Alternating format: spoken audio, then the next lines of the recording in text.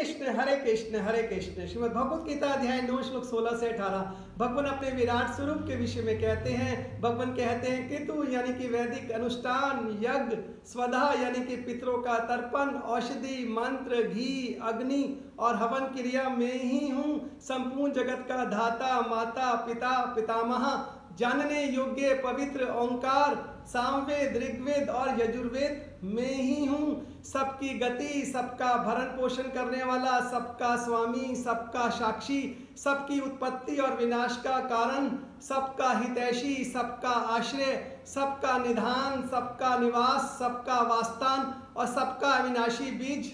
में ही हूँ। प्रभु कहना चाहते हैं, संसार में जो भी व्यक्ति या व्यक्त है, सबका कारण तत्व परमात्मा ही है। सब कुछ परमात्मा है, परमात्मा के सिवा कुछ नहीं है। केवल परमात्मा की सत्ता है, संसार की सत्ता नहीं है। जय श्री कृष्ण।